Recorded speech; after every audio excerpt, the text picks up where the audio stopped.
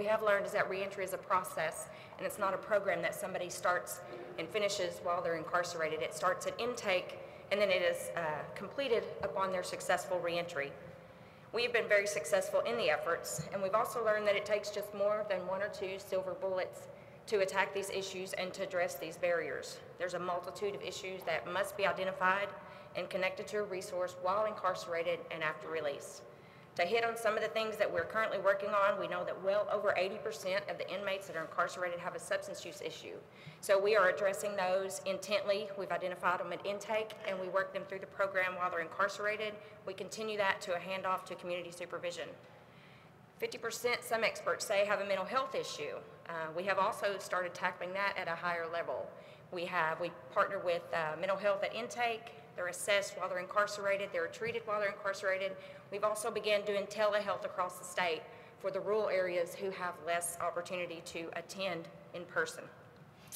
The employment initiative the governor was talking about is 2018. We did a huge push for employment um, through the Good Grid and just through community awareness, and we increased our full-time overall percentage from 51 to 58 percent in just a little over a year. And that federal tax incentive really helped with that. Um, under Governor Hutchinson, we've also passed three pieces of legislation that have um, allowed inmates to be released with at best their driver's license, a restricted permit, or at least an ID, which they will have time after release up to six months to continue paying fines and fees to get those suspensions released from their driver's license. We do AANA seven days a week in our reentry facilities and our correctional facilities. We also um, connect them to sponsors across the state. We use mentors, sponsors, and recovery coaches. We have enlisted uh, recovery coaches and we have them embedded in some of the areas, offices across the state. We also ensure that um, everyone that graduates from a reentry program that they have a mentor or a sponsor. Um, we have Reentry on the Road, which is a new initiative we just started, which basically it takes a small team of, that we have in reentry and we go from community to community to educate them on what's going on in our state, the barriers that we have faced, and the solutions that we have created to overcome them.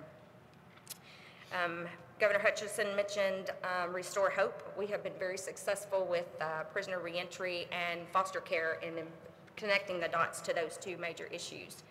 Uh, we have eight reentry facilities, which we opened the first one in 2015. It's a 180-day program that we screen individuals about 18 months prior to their tr transfer eligibility date. We slowly transition them through um, 15 hours of programming. They're full-time employed. They get family reunification, substance abuse, mental health, um, and they address their fines and fees. And when they complete the program at 180 days, their carrot is to have early parole. We have an online transitional housing application now. We work through the Good Grid reentry portal, uh, which has also helped a big push for employment. We have increased those efforts. We have employers that will actually list that they are felon friendly, and the inmates can apply straight from incarceration. Um, the online transitional housing application is just another layer to that portal, and we have increased our release from 60 days to now a max of seven days to someone to be released to a transitional house. Uh, all inmates are approved for, uh, have an application prepared and submitted for insurance upon release from incarceration. We have begun using the Medicaid assisted treatment programs in Arkansas, which has been very successful to help us um, attack those opioid addictions. And then as Gov Governor Hutchinson also mentioned um, on the Occupational Licensing Board, and we have passed some legislation to try to assist in deregulating some of those barriers, and that will be an ongoing committee for the next couple years. So as an agency, um, we have realigned our risk assessment so that we can better apply these resources to high-risk offenders, which in turn saves resources and tax dollars by not over-applying them to the low-level offenders who we know will probably be successful.